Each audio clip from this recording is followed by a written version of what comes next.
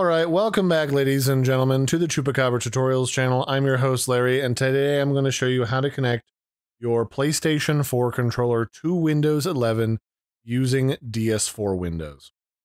And this is also going to show you how to connect your PS4 controller to Windows 11 using Bluetooth, because that's just going to be part of the tutorial. So the first thing you need to do is just, you can just Google DS4 Windows, and you want to come down here to the GitHub version that says releases RyoChan 7 DS4 Windows. I'm not sure who owns this website here, but it's not actually related to the developer. So go to their GitHub page, which will look like this, and then you're going to want to download and install three things. The first thing you're going to want to grab is the .NET framework, which there's a link here to the .NET 8 desktop runtime. I'm gonna say, for the sake of longevity, you should just down you should just go to the .NET website and download the .NET desktop runtime for 9.0. It's actually up to 10.0, although I think this is actually still in development. So I'm gonna say go with nine for right now. So I'll link nine in the video description below you're going to want to grab the Windows 64-bit edition for the desktop runtime. So that's right here in the middle. We're going to grab the 64-bit edition. I'm going to put it in a Windows 11 controller folder that I already have set up.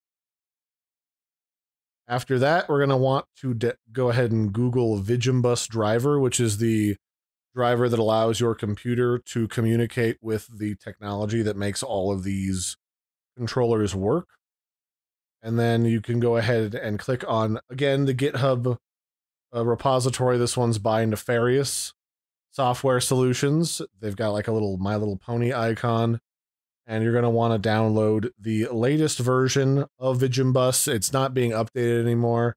Um, it's ViGEmBus 1.22, 64-bit 86 ARM64. It's all one edition. You're going to want to go ahead and grab this and install it as well. And then the last thing you want to grab is DS4 Windows itself. I just already downloaded the x64 bit edition, which is a zip file. You pretty much always want to grab the 64 bit edition of software these days. Pretty much nobody who's doing any meaningful amount of gaming is going to be running on 32 bit. Uh, but if you do know that you're running on 32 bit for a specific reason, by all means, grab the 32 bit edition with that out of the way, I will go ahead and uh, start installing stuff. I would suggest run installing the .NET framework first.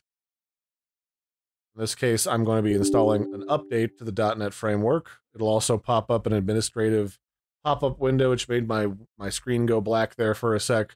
For you guys, just give it permission to do its installation. And none of these particular installers should take all that long to do. The .NET framework comes directly from Microsoft. And then you'll also want to install ViGEmBus. I'm not going to reinstall it because I already have it installed, but go ahead and install that. And then the last thing you want to do is extract DS4 Windows to a folder of the same name. So I'm just going to extract it to same named folder right here. And before we go any further, I'm actually going to connect my controller to Windows 11. So to do that, I'm going to open up my Windows 11 settings. And you want to go to Bluetooth and devices in the left-hand sidebar. From here, we're about to click on the Add Device button, but first we're going to grab our controller, make sure it's charged, and we're going to press and hold the PlayStation button in the center, below the little speaker hole, and the Share button at the same time until the light on the back begins to flash rapidly like a strobing emergency light. Then we're going to click on Add Device, and we're going to search for a Bluetooth device. And we should see a generic wireless controller pop up right here. That is our PlayStation controller. One of the things I'm kind of disappointed by from Sony is that they don't label these. So your PlayStation 4 controller and your PlayStation 5 controller just shows up as a generic controller. There you go. Now our controller is connected to the computer, and then we can go ahead and proceed with the next portion. I'm going to open up DS4 Windows, and then inside of this mess is a rainbow logo here at the top. That's the actual application. And we're going to go ahead and double click it. And we're going to say, yep, I trust this. I go ahead and run it. And it's going to pop up if .NET Framework is properly installed. It'll pop up this question of where do you want to save your data? Put it in the program folder instead of your app data folder. That is because if anything happens and you need to reset DS4 Windows, which happens, you just delete the program folder and then extract a new copy rather than having to dig through your app data folder to delete different settings folders. It just makes it a lot cleaner and easier to run everything.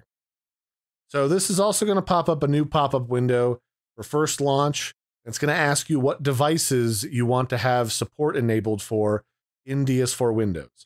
I'm just going to be using it for a PlayStation 4 controller, which is the DS4 device here at the top. The DualSense device is the PlayStation 5 controller. Switch device support is for the Pro controller. Joy-Con is obviously for the Joy-Cons. And DS3 is for the PS3 controllers. I'll do these all in separate tutorials, but if you want to enable support for anything else, you can right here. If you're not going to use any of this other support, leave it turned off because it helps to prevent conflicts when using this uh, software to play games. I'm going to hit close because I don't need that. And then it's going to pop open the actual DS4 Windows interface. And because it's already running, it's going to scan for and detect my PlayStation 4 controller, and it should just pop up automatically. If it doesn't, it might be because it's currently in stopped mode. Make sure that the little button in the corner here says stop. If it says start, click start, and then it should, you know, scan for and connect to your controller again.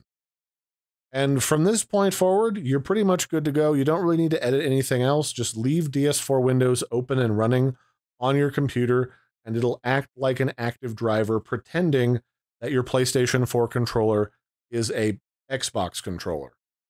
And you might think to yourself, Larry, I don't really understand why It has to be an Xbox controller. I want to play with PlayStation buttons. Unfortunately, if you were able to play with PlayStation buttons, that would mean the game you wanted to play already had PlayStation controller support and you wouldn't need an extra driver. The fact that you need this driver pretty much means that you have to have it set so it emulates an Xbox controller. That said, if you want to change it and experiment with seeing if it'll still run as a PlayStation controller, you can hit this edit button right here. This will open up the configuration panel for your key bindings and everything inside of DS4 Windows. You can literally click on any one of these buttons to bind it to either a different button on your keyboard or a different button on the Xbox. You want to go over to this tab over here on the right side at the top. It says Other. And you can change the emulation type from Xbox to PlayStation 4 controller. And then you can hit Save at the top. And then it'll just close it. And now this is pretending to be a PlayStation 4 controller again. If that breaks your game and you can no longer use your controller because you made this change, all you have to do is go back to Edit, go over to Other, and change the emulation type back to Xbox 360 and then click save. I'm going to say right now at the end of this tutorial that if you want to save yourself a lot of headache and trial and error, either use Steam's built-in drivers for your games when possible, or just buy yourself an Xbox controller because it's got a lot better support when you're playing on Windows. Um, I think that's in part because Windows really just wants you using their stuff. But whatever the case, this is sort of a workaround that works for some games and not others. I know people have been using the software to run extra scripts to cheat at some first person shooter games. And as a result, DS4 Windows will either not function when you're trying to play those games because it gets blocked, or it will prevent those games from being launched until DS4 Windows is closed. If you have that happen, you'll have to use either Steam's drivers or you'll have to use a different driver altogether, which you can find other driver options and solutions on my channel. So that'll be it for this one, ladies and gentlemen. I've been your host, Larry. Don't forget to like and subscribe. This has been how to connect your PlayStation 4 controller to your Windows 11 computer and use it as an Xbox controller to play video games.